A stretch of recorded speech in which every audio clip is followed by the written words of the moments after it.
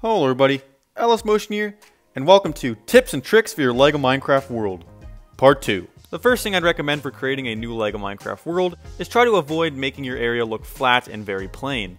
Try to add as much detail in, as possible into your area rather than having a bunch of flat giant base plates. This is something I've done a lot in my older MOCs and is something I'm trying my best to improve on. It just makes it look a lot better. I think it would be a lot nicer if you had a nicely detailed biome with different things. You can use flowers, dead shrubs, cactus, trees, anything just to add more detail. Try to add tiny little hills as well into your biome just to avoid making it look flat and plain definitely will look a lot better and I think it'll be something that a lot of other people would like to see. Part number two is the way you display your figures.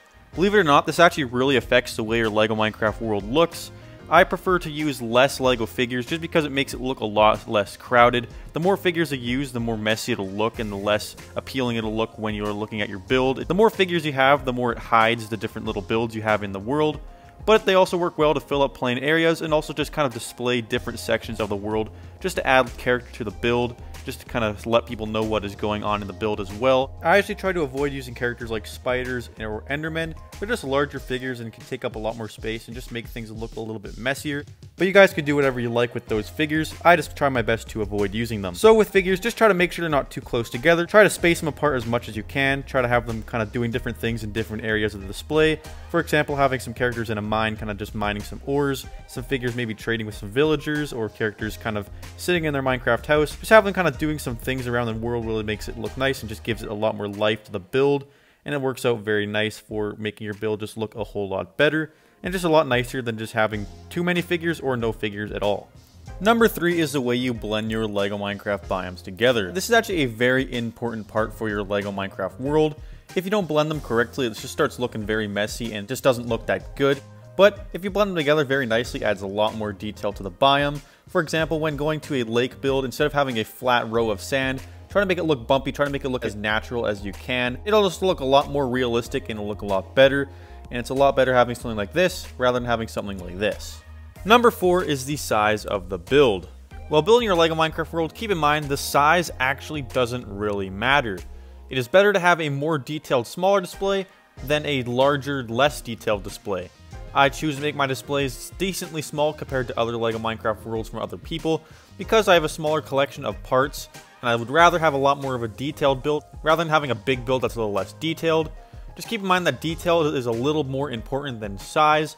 Your LEGO Minecraft world could be as small as two 32 by 32 base plates or even just the size of one 32 by 32 base plate. So while building your world, just keep in mind, size is after detail. Detail always goes first. It's always going to make your display look a lot better, rather than having a giant, huge, plain build. Number 5 is the use of official LEGO Minecraft sets.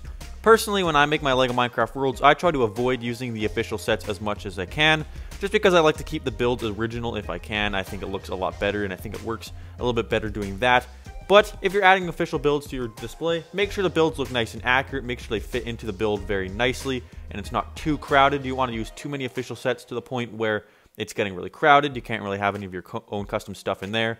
So I'd recommend just do your own custom builds if you can, and then do official sets. But official sets really work well if you want to add them to your LEGO Minecraft world. And if you are choosing to use official builds, I recommend trying to use sets that are easier to integrate with your own custom builds for example, sets that are a lot flatter and closed off on all sides. Sets like the mine would not be that easy to add into your MOCs, but other sets like the first night or the mountain cave would be a lot better to add if you were trying to use official sets for your own MOC. Number 6 is observe in-game Minecraft generation. If you're stuck trying to figure out what you want to build for your LEGO Minecraft world, or you don't really know how to build a display that looks accurate to the game, just log on to Minecraft, just explore a new world in creative mode, just try to find different areas in the world and try to kind of recreate them in LEGO take screenshots or just stay in the world and just try to get a general idea of what a Minecraft world looks like.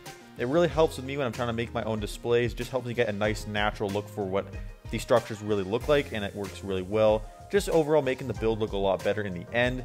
So looking at our builds in the real game actually really, really helps. Number 7 is the types of parts you use for your build. While building your LEGO Minecraft world, try your hardest to stick with using accurate looking pieces, so stay with the 2x2 sized pieces if you can, they just look the most accurate to the real life Minecraft blocks. It'll look a lot better in the end. Just try to avoid pieces like slopes and rounded parts. They definitely won't look good in the end. It will look a little bit more messy. So stick with more accurate looking pieces. Sometimes I'll actually allow myself to use one by pieces if it works for certain builds just to make them look a little bit smaller. but as long as you're not using round or sloped pieces, your LEGO Minecraft world will look good in the end. And for number 8 is to avoid crowded areas. This is something that you're really going to want to avoid for your LEGO Minecraft world if you want it to look nice and clean and natural. This is something I really failed Try to keep your in a lot buildings nice and far videos. apart. Try to keep some empty space between the buildings. This is something that a lot of people do not do while building the LEGO Minecraft worlds. The builds end up just looking super crowded. It's nice to have blank spaces instead of building after building after building. Just having buildings super close together just does not look too appealing, and it's definitely something you want to avoid doing. And also save you a lot of parts as well, which is also a really good thing. But I think that's about it for the tips and tricks video. Let me know in the comment section down below what you guys think. Did I do a good job at kind of giving some useful tips to you guys for building your next LEGO Minecraft world? And there's anything else that I need to add for another future video. But that's it for now. I hope you guys enjoyed. Don't forget to like, subscribe, comment down below, and destroy all those LEGO Hoglins because they're not good.